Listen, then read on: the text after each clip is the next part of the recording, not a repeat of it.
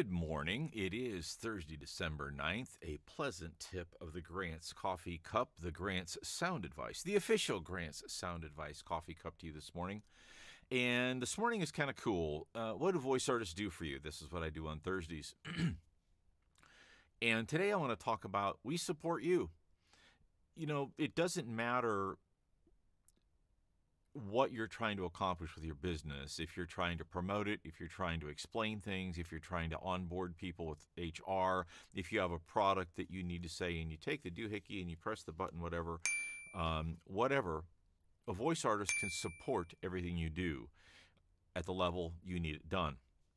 I'm going to take a little left turn with this this morning and talk about support in another way.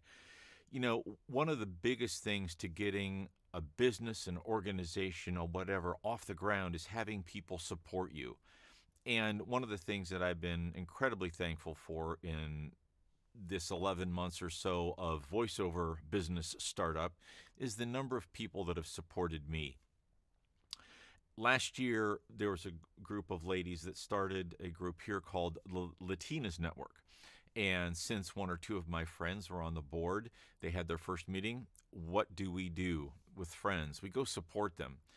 These are some incredibly intelligent, accomplished, and motivated women, and they also happen to be Latina. And I say it that way because to me, it doesn't matter that they're Latina. It matters that they're friends and that they're amazing. And why wouldn't I support them?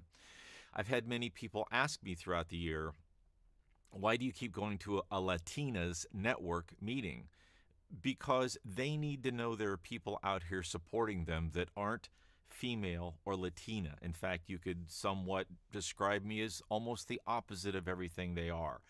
Um, I'm the white guy. I'm the old white guy in the room that knows everything and gets all the benefits, right? At least that's the perception in the marketplace. Um, that's not my point. That's not who I am. My point in this is all when have you supported your friends? When have you shared their shared their post like this? When have you shared their business? When have you helped them get that one more little step? And we had our one year anniversary, and I say we because I truly feel I'm part of their network. I mean, I am part of their network. There's no I think I am, I am part of their network.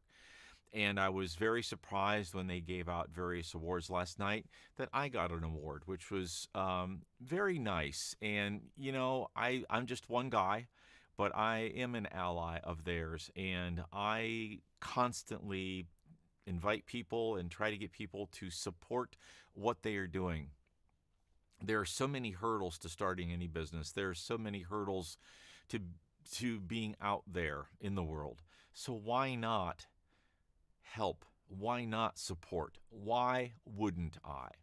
So this morning, if you uh, are on Facebook, social media, look up the Latinas Network uh, on social media. It's obviously in the Roanoke New River Valley, but hopefully that will spread soon.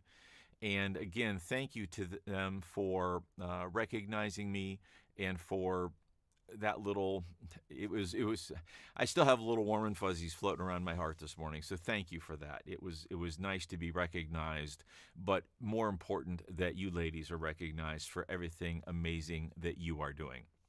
Thank you so much for all that uh,